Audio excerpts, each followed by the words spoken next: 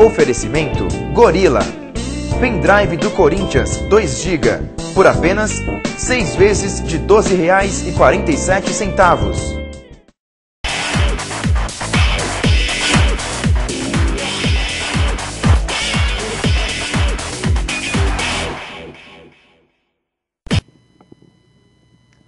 Boa noite, pessoal. Começando mais um Bola em Jogo. Hoje é dia 3 de agosto e tivemos vários clássicos é, pelo Brasil. Mudança na liderança, né? O Fluminense assumiu, está um ponto na frente do Corinthians. E aqui em São Paulo, grande clássico Corinthians e Palmeiras. Também tivemos semana passada a primeira partida da final da Copa do Brasil, onde o Santos bateu vitória por 2 a 0. E também o primeiro jogo da semifinal da Libertadores, onde o Inter venceu o São Paulo por 1 a 0 e quinta-feira disputa a vaga é, na final contra ou o Chivas ou a Universidade do Chile, que jogam hoje é, lá no Chile.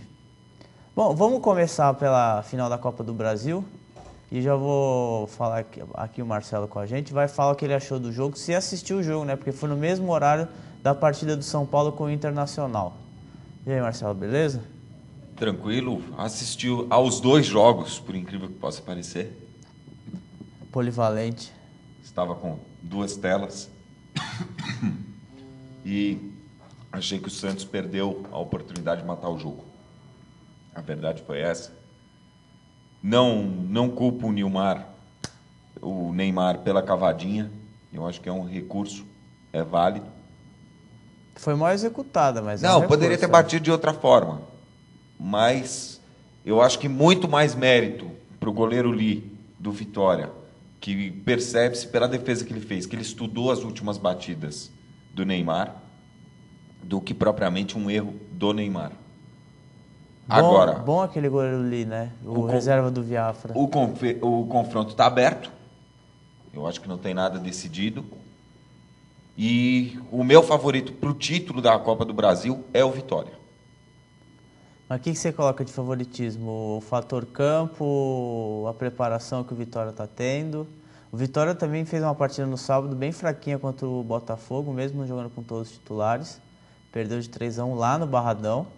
E o que eu coloco é que o Santos também está preocupado com o gramado, que não é, é, é horrível, né? Para falar É, a verdade. Ainda hoje vinha chovendo na Bahia.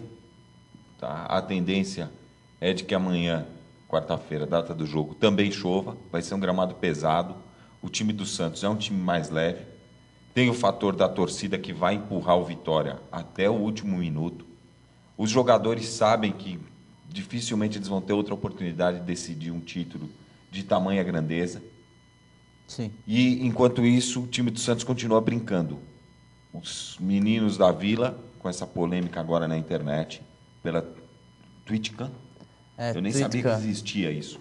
Eles fizeram uma. ficaram na concentração lá em Prudente brincando pela, pela Twitcam. E o que acontece é o seguinte: é uma prova de que a- o planejamento que se diz que existe no futebol é um planejamento mentiroso. Sim. Não existe preparação nenhuma desses jogadores para receberem as fortunas que recebem mensalmente. Não tem preparo nenhum. Não existe uma até uma retidão de caráter por parte dos jogadores.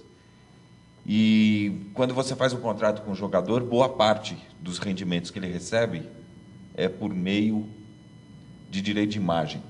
Sim. E qual é a imagem que passa? Uma palhaçada daquela que, de certa forma, o jogador faz questão de humilhar aqueles mais humildes, É. que no fundo é quem paga, de certa forma, são os responsáveis por pagar o salário desse mesmo jogador. É, disseram que foi tudo E brincadeira. ele falou tavam que o Felipe é mão de alface. Realmente é uma porcaria de goleiro. Tá mostrando, né? Tanto que perdeu a vaga pro, pro Rafael, né? E o Rafael fez uma belíssima partida contra o Grêmio Prudente, pegou um pênalti, segurou, porque senão o Santos ia perder aquele jogo. Bom, amanhã, o que, que você acha que pode acontecer, Marcela? Amanhã é 4x1 vitória. no, no sofrimento? Começa o Santos abrindo o placar, depois vamos buscar? Não, não. 2 a 0 Vitória, o Santos faz e o Vitória guarda mais dois. O gramado realmente vai pesar pro Santos? Se chover, vai. Eu estou confiando na chuva. Aí esquece. O Santos não é muito forte em bola parada, né? O negócio deles é mesmo bola no chão, velocidade no ataque. Então é bem capaz. Eu não sei, eu acho que tá, tá bem aberto, muito mais aberto até que o jogo da Libertadores do Inter e do São Paulo que acontece na quinta-feira. Eu assisti mais esse jogo, Inter e São Paulo. E achei que o São Paulo abdicou de jogar, mas o Inter também foi um pouco incompetente para finalizar Pro, o jogo. pro São Paulo saiu de graça o resultado. Que o Inter podia ter feito 2, 3 a 0 com facilidade no primeiro tempo. São Paulo soube segurar muito bem, a defesa estava muito bem postada. É, Pelo jeito, pelo Inter, o Tinga ainda não vai jogar, né? não tem condições de jogo, mas o Rafael Sobis já está em melhores condições para poder entrar. Não sei se vai, vai entrar, mas no Morumbi é, um, é diferente do, do. Vai ser diferente, mas até a, a postura dos times vão ser diferentes aqui no Morumbi. E eu acho que é um tipo de. de é bem parecido com o Beira Rio, então continua aberto, né? Inter e, e São Paulo continua é, com, a, com o jogo totalmente aberto. 1x0 para o São Paulo aqui a gente vai para os pênaltis. É, 2x1 da Inter, 3x2 da Inter. Qualquer gol, um gol de diferença, tirando o 1x0 da, da Inter. São Paulo precisa ganhar de 2x0. São Paulo bateu o Ceará no fim de semana por 2x1. Não, 3 a 1 da São Paulo. 3x2 eu falei. Ah, 3 a 2 sim. 3x2 da São Paulo. 3 a, qualquer diferença de dois gols da São Paulo. Mas é, qualquer diferença de um gol, tendo o Inter marcado um, dá Inter. Então o Inter chega com aquela vantagem de poder perder de um gol que não seja 1 a 0 senão vai para os pênaltis. E eu vou falar, a minha impressão é que vai ser um jogo muito difícil do Inter não marcar um gol. Até pelo São Paulo precisar do resultado e até está cogitando entrar com três atacantes. Três atacantes vai entrar o Ricardo Oliveira Ricardo Oliveira, Fernandão e Fernandinho. e o Dagoberto. Pelo menos foi o que treinou na data de hoje de manhã. No fim de semana, esses dois times, é... o São Paulo bateu o Ceará em casa, 2 a 1 e o Inter empatou no Grenal, um dos clássicos da rodada, que foram dois jogos mornos, até que o, o São Paulo também até sofreu no finalzinho para fechar a vitória. Bom do jogo foi, a- foi o Ricardo Oliveira que fez uma bela partida, jogou 70 minutos, isso para um jogador que estava meio que parado até que foi bom mas também não foi aquela credencial para falar para deixar o São Paulo tranquilo que fez cobrança no, no- durante no, no- antes do jogo e durante o jogo dizendo que Libertadores é obrigação tá parecendo a torcida do Corinthians né e o São Paulo com pressão de torcida já não funciona muito bem então eu não, Não, acho o- que foi uma coisa muito bem postada da torcida O clima no Morumbi não está legal. O diretor de São Paulo está tentando fritar o Ricardo Gomes, não é de hoje. É o mesmo diretor que já fritou o Murici Ramalho. É o Leco. tudo isso para trazer o Dunga É, alguém plantou o nome do Dunga. Eu, eu acredito que a diretoria de São Paulo seja um pouco mais competente do que trazer o Dunga. Sinceramente. Sim, mas por que cogitaram o nome então? Isso que é duro, né? O povo tá de brincadeira. Deixa eu só ler aqui umas mensagens que chegaram. A gente, é, o Oliver de São Paulo, o que vocês acharam do que aconteceu com os jogadores do Santos na, twi na TweetCam? Bom, isso reflete o, o espírito do time, que é o quê? É farra, é brincadeira, não tá levando a sério. Por isso sofreu para ganhar o Campeonato Paulista. Se não fosse por alguns detalhes até de arbitragem, teria perdido o título na segunda partida, na qual perdeu para o Santo André por 3 a 2 E agora, de novo, é, contra o Vitória, primeira partida em casa 2 a 0 poderia ter saído pelo menos com uns 3 a 0 4 a 0 porque o Vitória não conseguiu jogar. Só que o Santos tem um retrospecto na Copa do Brasil que não é muito interessante. Das últimas partidas que ele fez fora de casa, ele perdeu todas. Então vamos ver, inclusive para o Guarani, na qual ele goleou na Vila, Atlético Mineiro e a semifinal foi contra quem? Putz, fugiu agora que foi a semifinal. Atlético Mineiro, não foi? Não, Atlético Mineiro foi as, as quartas. Fluminense. Fluminense também não. Eu vou dar uma olhadinha aqui. Então eu acho que isso, isso falta, falta pulso, acho que no Santos. Não A sei se grande- você concorda Pra comigo. mim, a grande Marcelo. preocupação do time do Santos foi o seguinte: a diretoria, no momento que tinha que brecar a molecagem dos moleques, não o fez e agora perdeu a mão. O treinador não tem mais comando do grupo, Sim. tá? Isso acho que é- é- já ficou claro, até pela postura do Dorival após esse último acontecimento na Twitchcam, tá? que ele falou que seriam providências tomadas internamente, já mostra que ele não está com muito poder de tomar algum tipo de decisão mais enérgica. Lembrei, foi contra o Grêmio a semifinal. Exatamente. Que perdeu por 4 a 2 lá. E foi um aperto, mais ou menos. Foi, foi um aperto. Agora, o- a questão referente a, a dar uma segurada no ímpeto e até nas brincadeiras exa- exageradas do- dos meninos, que todo mundo fica passando a mão na cabeça, alegando que são jovens, que são isso, que são aquilo. Eu acho que não tem essa questão de ser jovem. A partir do momento que o cara, com 18 anos, ele tem capacidade para votar, ele tem capacidade de responder por um crime que ele tenha cometido. Ele tem que tomar a postura de um homem e, principalmente, de um ídolo, que poucos sabem ter essa conduta, vamos dizer, mais afinada, mais acertada.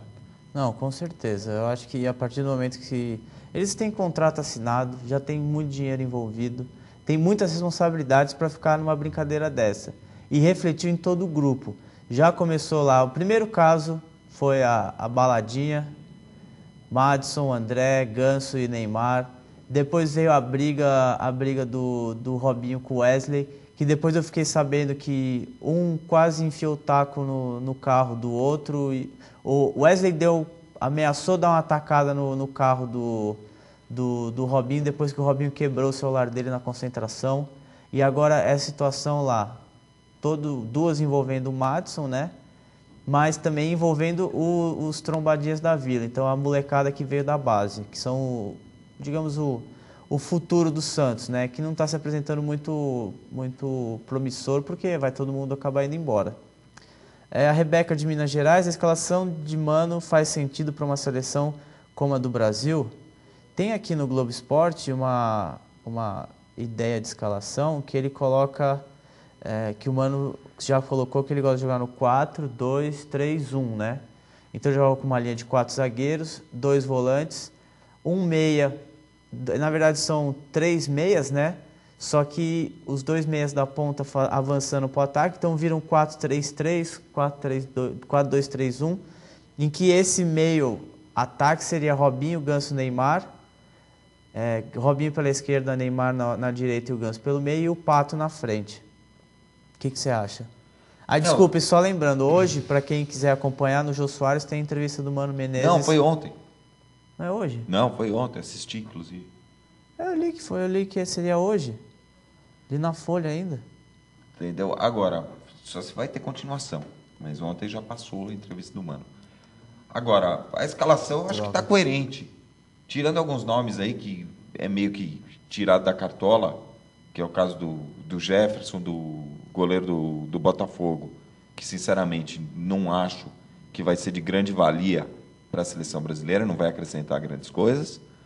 E do Jusilei, que eu acho que ainda não mostrou nada para ser para ser convocado para uma seleção brasileira. É um bom jogador, é promissor, Sim. mas não é jogador para a seleção brasileira. É um bom jogador para você compor elenco num time brasileiro. Agora, a seleção, eu acho que é um pouco a mais. É, é, é aquele negócio, período de experiência são válidos. Eu acho que foi isso que o Mano se apoiou. Vamos ver aqui outra pergunta. É, o, Paulo, o Pedro César, vocês acreditam que o Inter leva o jogo contra o São Paulo e ainda leva o título? Olha, o título acho que é uma questão bem complicada, viu? Porque tanto o Chivas como a Universidade do Chile são times bem complicados de você enfrentar. Sim. É aquele típico tipo filme, é, time chato. Não é um time assim que, que joga simples, que tem um esquema definido de como jogar. Eles jogam de acordo com o jogo. Então você acha que qualquer um que passe para a final vai ser páreo duro, independente de Universidade do Chile ou Chivas? Vai enfrentar dificuldades. Mas acredito, até pelo, pelo clima que o São Paulo tá, pelo que o São Paulo jogou no primeiro jogo, que o Inter é franco favorito. Eu diria que a chance do Inter passar é de 70%. Hoje, se eu não me engano, é hoje. Deixa eu só confirmar aqui se é hoje o jogo. Eu acho que é hoje, né? O jogo da. Do... É, o outro foi terça-feira passada. É. Que mudaram, acabaram mudando o, as datas por, por causa da televisão, né? Porque o São Paulo e o Inter jogariam amanhã de qualquer jeito, né? Deixa eu ver aqui a chave. Abre fio. É, vamos ver aqui. Ah, legal, não tem as datas, então não é aqui que eu. Eu acho que joga hoje no, na, no Chile. Primeiro jogo foi 1 a 1 Tá aqui. Primeiro jogo foi 1 a 1 a volta dia 3 do 8 hoje. Primeiro jogo foi 1 a 1 O Chivas não conseguiu é, abrir, distanciar no placar, né? Como fez não, os saiu outros... perdendo, inclusive. O Chivas saiu, saiu perdendo. perdendo é. Como nas outras partidas que ele ganhou de 3 a 0 né? No, no jogo de ida. É realmente, é um jogo aberto, vai jogar lá no campo nacional do Chile. Se não me engano, é um campo pequeno, né? É, bem aguerrido. É igual aquele. É o mesmo campo que jogou contra o Flamengo, né? Exato. Então a, a, ali é complicado. E aí na quinta-feira, São Paulo Internacional no Morumbi, que também vai ser um belíssimo jogo. Com transmissão da Rede Globo para todo o Brasil. Todo o Brasil, eu não sei não. Viu? Todo o Brasil. É. é. O Maurício Granado. Qual a veracidade de o Luxemburgo assumir o São Paulo após os Libertadores? Eu já ouvi esse papo. Eu é. acho muito difícil, por tudo que, que a diretoria de São Paulo já pregou, que o Luxemburgo era um treinador muito caro no custo-benefício e que o Vanderlei não abre mão de sua comissão técnica. Agora, eu já ouvi também que o Vanderlei teria aberto mão da comissão, que levaria apenas e tão somente o Antônio Melo como preparador físico. Só o Antônio Melo. Só o Antônio Melo. É, porque no, no caso da, da seleção da, do São Paulo, não adianta querer o Luxemburgo levar todo mundo, né? O, o São Paulo trabalha com comissão física, é, comissão técnica fixa. Agora, o Luxemburgo assumindo São Paulo depois da Libertadores pode ser o segundo renascimento na carreira do Vanderlei. É que ele renasceu no Corinthians após a CPI e eu acho que ele assumindo São Paulo realmente ele vai ter grandes chances de unir aquele que dizem, muitos dizem e defendem, o melhor treinador do Brasil uhum. com a melhor estrutura do Brasil em termos de diretoria, em termos de preparação de um elenco. É, se bem que hoje ele está na melhor estrutura, né? Que é a do Galo. Não, não, sim, melhor estrutura física, mas estou falando melhor diretoria. Se você somar tudo, o, o, o, time de São Paulo tem sido muito competente. Sim. Desde a época do Tele Santana para cá, se você pegar, ninguém conquistou nem metade do que o São Paulo do que o São Paulo conquistou. Aqui uma matéria interessante, ó. Ciente das críticas, Mano diz que chamou Justilei para suprir saída de Sandro. Não sei, né? Cada um justifica com aquilo que tem. Mas eu, eu gosto Não, do Mano. Ele coloca que ele está acreditando, então quer dizer que ele vai ter que dispensar o Sandro por causa da, da Libertadores. Sim. Agora, eu acredito que o o Mano Menezes vai fazer um bom trabalho. Não sei se vão deixar ele trabalhar. Tem esse problema. Ele a não... frase do Lula, então, cabe aqui: deixa o homem trabalhar. Deixa o homem trabalhar. Ele não tem tanta bagagem para suportar uma pressão em caso de resultados adversos numa seleção brasileira. Mas eu gosto do estilo dele, gosto da forma com que ele monta os times. Aquele Corinthians que ele montou no Paulista do ano passado Campeão paulista e campeão da Copa do Brasil. Eu achei, no, nos últimos cinco anos, o melhor time que eu vi jogar foi aquele. Até Entendeu? mais que o São Paulo da Libertadores e o Inter da Libertadores? Mais, o time do Corinthians tinha mais consistência. Basta ver que foi campeão paulista invicto. Foi. 20. Paulistas são 19 mais 24 partidas. Sim. 23 partidas. De invencibilidade no não é, não, isso não é para qualquer um. Não, na verdade, no ano ele foi perder a invencibilidade contra o Atlético Paranaense nas o jogo, um jogo depois do, da final do Paulista. Que até esse time do Santos que encantou no primeiro semestre, a gente tem que reconhecer isso. Não era um time que passava tanta segurança como esse do Corinthians, do Paulista do, do ano passado. Aqui uma frase dele. Eu convoquei o Sandro e o Hernanes. Um dos dois vai para a final. Se for o Hernanes, não tem problema pela convocação. Se for o Sandro, não tem outro que faça a função do primeiro homem. Por isso, o Jusilei foi convocado. Ele fica como opção. É ponto de vista, ele vai acertar, porque também numa dessa não se sabe quem vai virar, Sim, quem não vai eu acho virar. que nessa primeira, Imagina se o Jusilei entra e come a bola. eu acho que nessa primeira convocação dele, Uhum. a forma que ele que ele colocou, que ele criou do de escalar, de montar esse time, que eu acredito que ele queira um time mais rápido, Sim. jogando mais na base do toque de bola do que precisando de um contra-ataque ou fisicamente, eu acho que está correta a escalação. Não tem muito que você mexer disso aí no momento, não. É, pelos nomes que ele, que ele chamou, aqui, última convocação, é, vai acabar sendo. O jogo acontece terça-feira que vem, às 9 horas da noite, horário de Brasília. Ele vai acabar jogando com Vitor, Daniel Alves. é, na defesa, já com o Thiago Silva. Agora fica a dúvida: ele vai entrar com o Hever ou com o Davi Luiz? Ou com o Henrique? Eu acho que o Davi Luiz, por uma questão de momento. O Henrique não vem jogando.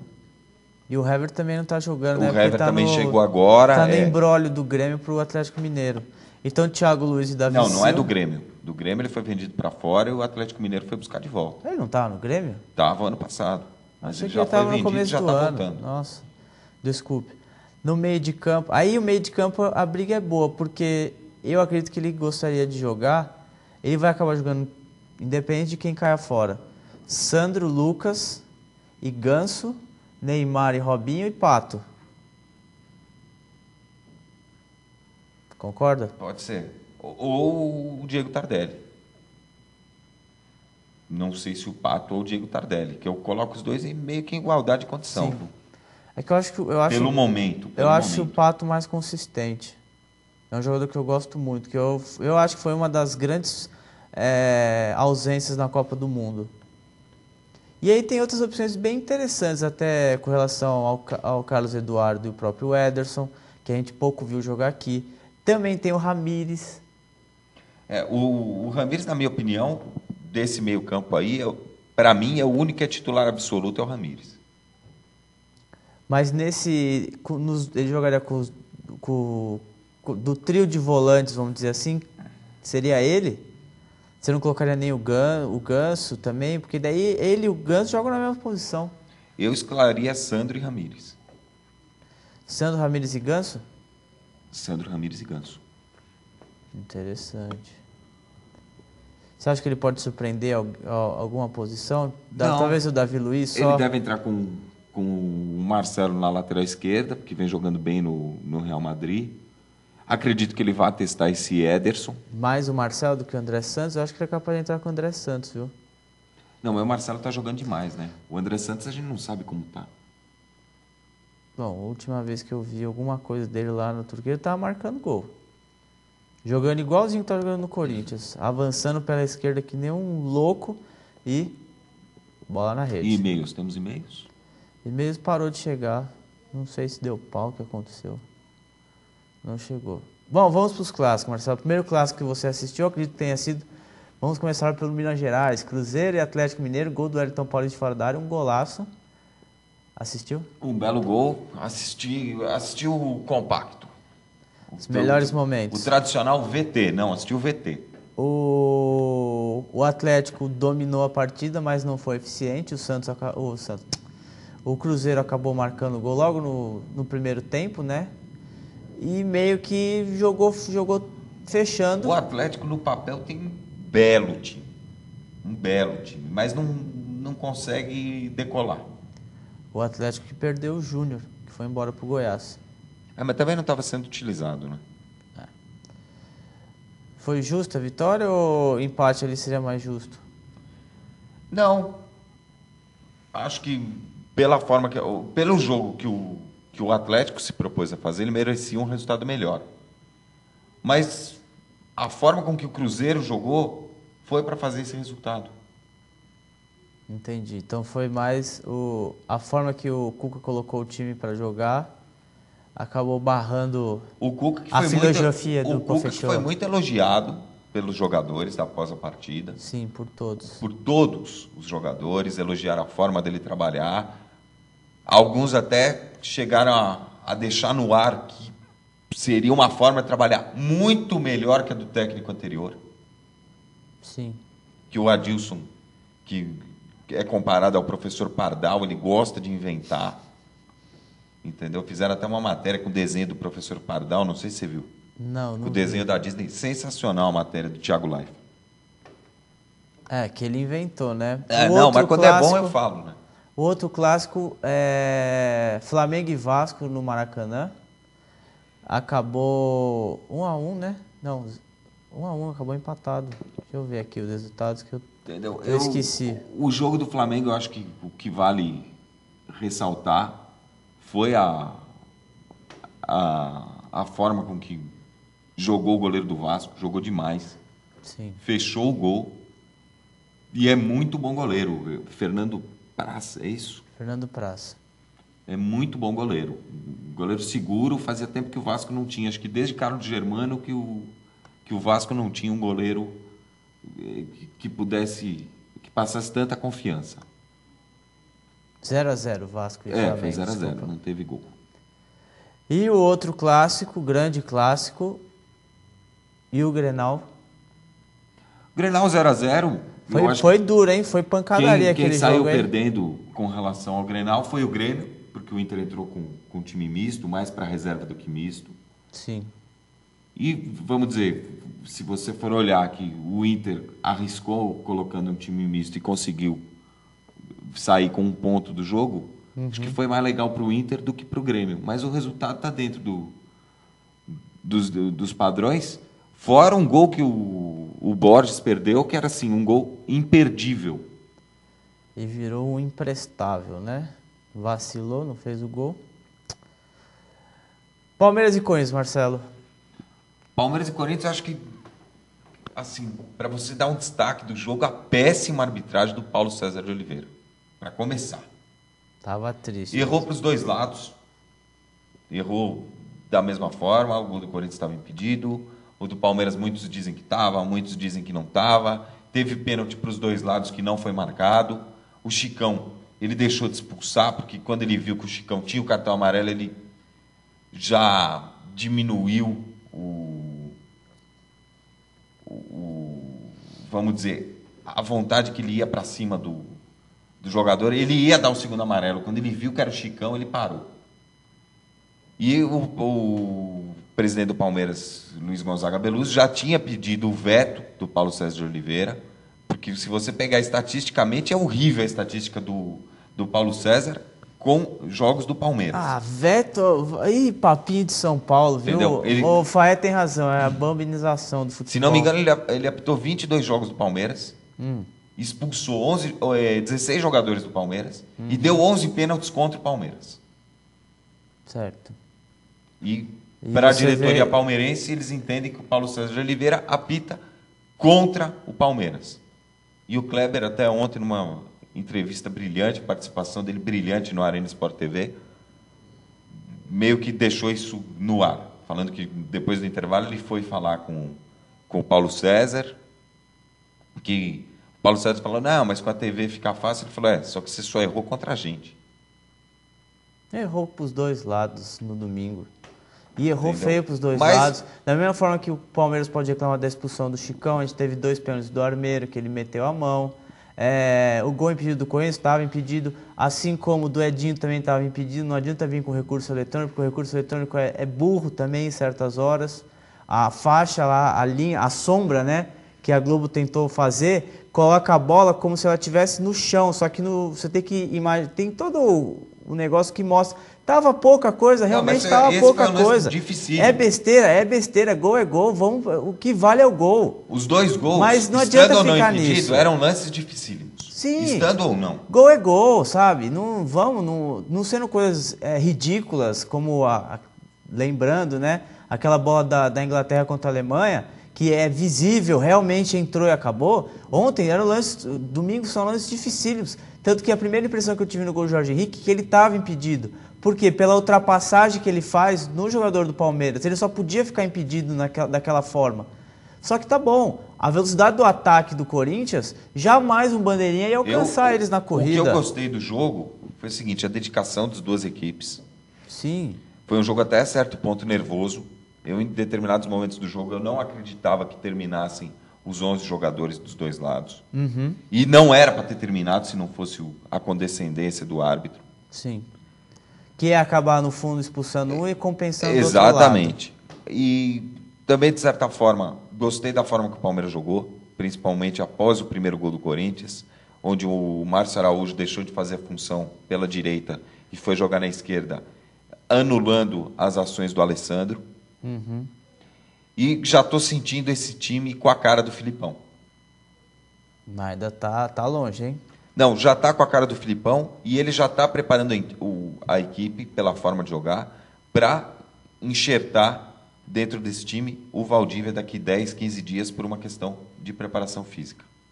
Se o dinheiro bater na conta, tem que bater na conta dos árbitros, senão não vem. E também a possibilidade do Ronaldinho Gaúcho também tá vindo, estão fazendo estudo, levantando dinheiro para ver se conseguem fazer a proposta. Não se sabe ainda se o Milan irá aceitá-la, mesmo que o Assis, irmão do Ronaldinho, esteja trabalhando junto com o Palmeiras para É, trazê-lo que ao Parque o Antártica. grande ponto dessa negociação do Ronaldinho não é nem o dinheiro. É assim. O Ronaldo quer vir ou não quer vir. É, ele Se quer ele jogar, quiser vir, ele velho. vai vir. Os caras querem jogar, não é essa a questão, Marcelo. Só que é o seguinte, o cara quer jogar. Vir jogar aqui no Brasil é outra pegada que você jogar o campeonato é, inglês, Eu, concorda? logo depois- É, italiano, desculpa. Logo depois da Copa 2006, quando o, o Ronaldinho fez uma Copa, Copa pífia, assim como grande parte da seleção brasileira, o- eu, eu me recordo de uma entrevista do Ronaldinho dizendo que o melhor treinador que ele teve foi o Luiz Felipe Scolari, Sim. Que era o que fazia ele jogar melhor, que tirava o melhor rendimento dele. É. Então, se realmente existir esse peso na cabeça dele de ser jogador do Luiz Felipe Scolari, ele vem. Independente da Vem. questão financeira, o dinheiro se arruma. Não, mas os valores acabam sendo muito parecidos com que, com que ele ganharia na Europa, só que vivendo no país dele, né? Que é, o salário dele estão falando que pode chegar a 1 milhão e 400 mil mensal. Seria 400 mil da, do Palmeiras, mais 1 milhão dos, dos patrocinadores, parceiros e etc.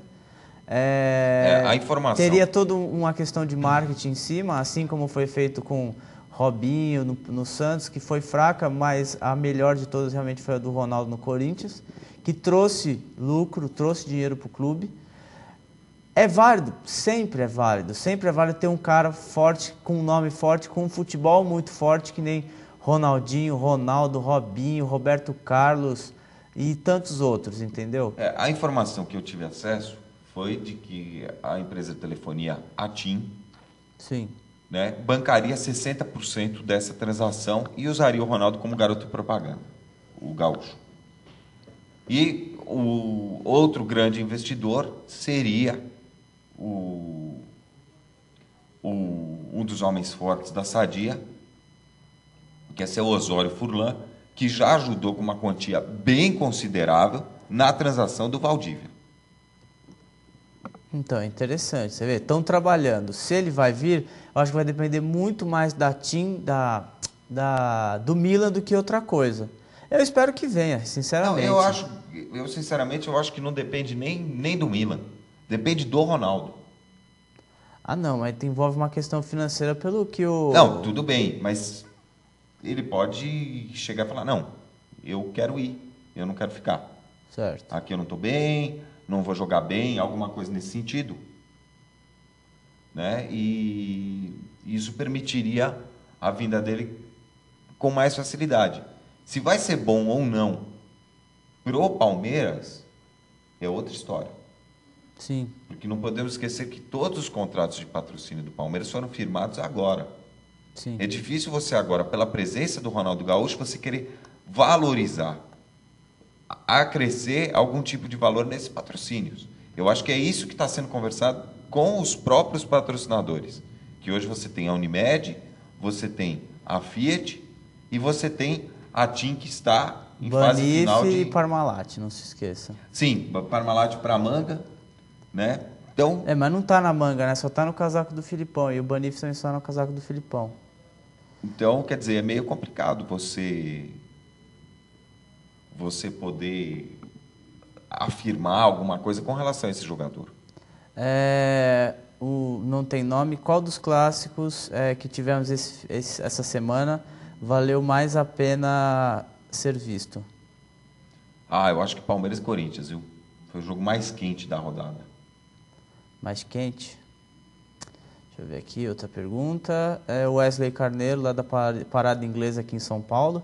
Assisto sempre. Um grande abraço, um abraço Wesley, obrigado pela, assis- pela, por assistir.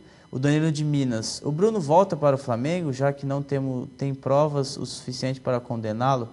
Bom, pelo que eu li, o Bruno, o Bruno está com contrato rescindido, foi demitido por justa causa.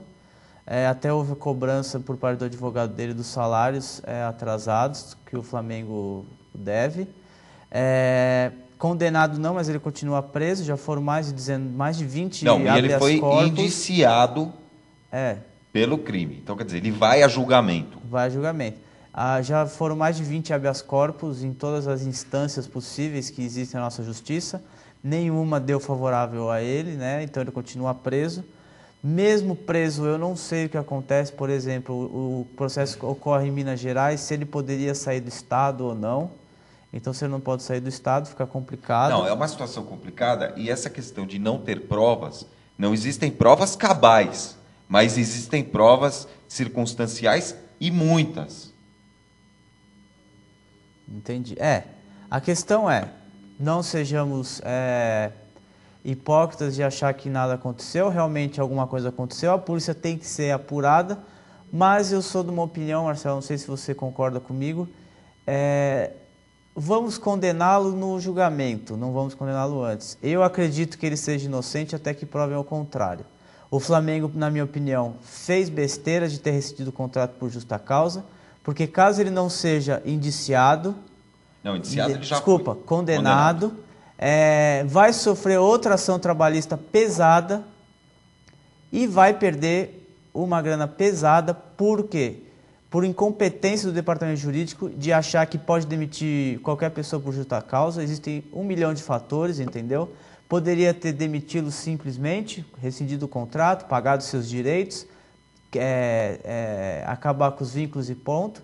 Mas assim, alguma coisa aconteceu nesse caso, lógico, senão não estava tendo tanto, a polícia não estava tanto correndo tanto, atrás de tantas provas. Mas vamos esperar ele ser condenado para ir realmente o condená-lo de verdade. Olha, Danilo, eu acho que independente do, da questão dele ser absolvido ou condenado, ele não tem mais uma coisa muito séria perante a sociedade e perante até ao cenário esportivo. Ele não tem mais credibilidade. E para mim, a carreira dele num clube grande acabou. Então, Marcelo, mas você, você para para pensar, na minha opinião, a questão da, da mídia já tê-lo condenado, da opinião pública já tê-lo condenado, um cara que realmente, se eu, eu sou favorável que comprove que realmente ele é culpado e o julguem lá no tribunal, das formas legais. É, ele ele deve entendeu? ser julgado por tribunal do júri, quer dizer, é um júri formado por pessoas normais, pode ser você, posso ser eu. Sim. Então, quer dizer, a partir do momento que a mídia já planta a ideia de uma pré-condenação, esse, vamos dizer, esse jurado, ainda que de maneira inconsciente, ele já tem toda essa leitura de culpa por parte do Bruno. É isso que eu fico, é isso que eu fico com relação a ao a qualquer caso, qualquer caso de justiça que a que principalmente a mídia se interesse demais, é, porque eu fico pensando, e se realmente a, a mulher sumiu e não mataram? Ninguém foi morto e os patos que são, querendo ou não, ignorantes, porque chegaram ao ponto de até cogitar de fazer isso, realmente não consegui comprovar que seja culpado.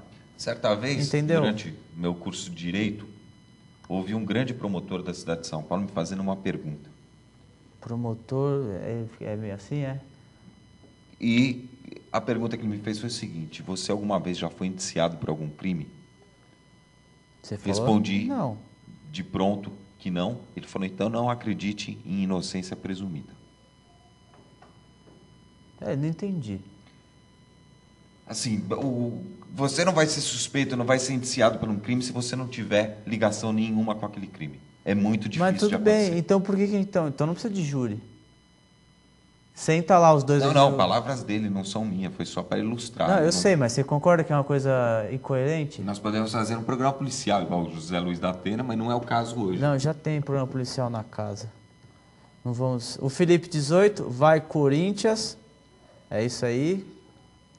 E é, também manda sem nome, por favor, escreva.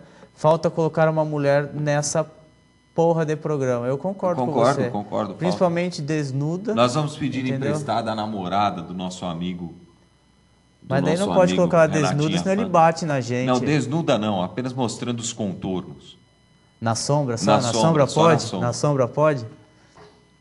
Bom, vamos ver se um dia vem alguma mulher aí. A última que veio não ficou, ficou com medo da gente. Né? Agora, notícias, notícias. O Palmeiras amanhã apresenta, apresenta não, amanhã faz exames médicos. O volante canhoto Rivaldo. do Havaí, Rivaldo, e já deve começar a treinar amanhã mesmo. E outro que está muito próximo é o zagueiro do Flamengo, o é Rodrigo. Agora esqueci o nome dele. Do Flamengo, tá É. jogando? Não. Fabrício, Fabrício. Fabrício, ah, tá. Que também é canhoto e é um zagueiro para jogar pelo lado esquerdo. Interessante. É, pelo São Paulo, pelo jeito a situação do Hernanes já está fechada com a Lazio, né? Deixa eu ver se temos os valores aqui, ou não foi divulgado os valores. Estava em torno de 14 milhões de euros, né? Perdeu dinheiro São Paulo, hein? Por quê? Quase 10 milhões por dois anos. É, mas o que eu tava o, o, Um ano e meio. lendo, tava lendo, o, o Hernandes também não tava muito. O negócio tá falando lá da, da Ucrânia, né? Quando fizeram a proposta. Isso, eram 23 milhões, não era isso? Então, não acho que ele perdeu tanto. Não ia ser tanto. É, o, o, o Inter, né? É, ele, o Rod está aqui falando que tem ações antipressão para o grande duelo. Deve estar preocupado, né? Não, o clima, o clima tá muito mais tranquilo pro lado do Inter do que pro lado do São Paulo. Sim, isso com certeza. Entendeu? A, a grande questão é que realmente o São Paulo no Morumbi, em qualquer situação, em jogo de Libertadores, que a torcida realmente vai ao jogo, não fica pipocando que nem faz no Campeonato Brasileiro, é um time muito difícil de ser batido. Mas também o Internacional tem um elenco muito qualificado. Será que o Inter terá o Celso Rotti como técnico campeão da Libertadores? Seria engraçado, né? Porque ele é um cara que. Eu vou te ser bem sincero, eu, eu não acho o Roth um, um péssimo treinador, que nem o pessoal fala. Porque ele, ele sempre chega e faz bons trabalhos. O trabalho que ele fez com o Grêmio no ano passado, ou retrasado? Retrasado. No ano retrasado pelo Grêmio, ano passado onde estava a Roth. Não, foi ano passado. Ano tá passado. certo, é.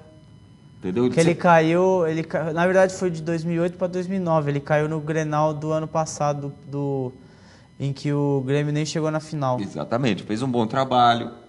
Não chegou porque não tinha um elenco qualificado para tal. Não, mas o Grêmio brigou pelo Campeonato Brasileiro de 2008, né? Sim, isso sim. Que o Palmeiras abdicou e deixaram o São Paulo ganhar. Palmeiras já abdicou de dois Campeonatos Brasileiros nos últimos dois Já anos, hein? mão. Vocês estão presenteando o povo. O que vocês querem? Vocês querem o mundo? Bom, aqui as outras, as outras. O que que foi, ó? Hein? Hã? E aí, beleza? Não, falta cinco minutos ainda aqui pelo relógio, pelo Big Ben aqui Não, do é estúdio. 45 agora, você esqueceu, não é mais 50. É, do resto aqui, eu acho que é isso. Amanhã, Santo, em Vitória e Santos, lá no Barradão, na, na Grande Salvador. Quinta-feira, no mesmo horário depois da novela, Inter e, e São Paulo, São Paulo e Inter no Morumbi. E semana que vem já teremos um campeão da Copa do Brasil e o- a final da Libertadores definida. De- ainda teremos jogo da seleção na terça-feira, logo depois do Bola em Jogo. Não aqui na Just, mas depois do Bola em Jogo, que 9 horas é o jogo. E eu acho que ficamos assim, Marcelo. E só para não deixar de falar do time com maior torcida do Brasil, o Flamengo hoje apresentou a promessa Leandro Amaral. Esse aí vai e volta e vai e volta. Então tá bom, pessoal, para Renatinha não ficar mais acabado que ela já tá. E prometendo que um dia colocaremos outra mulher aqui, né, pro misterioso senhor nome. Tchau, pessoal, muito obrigado e até semana que vem.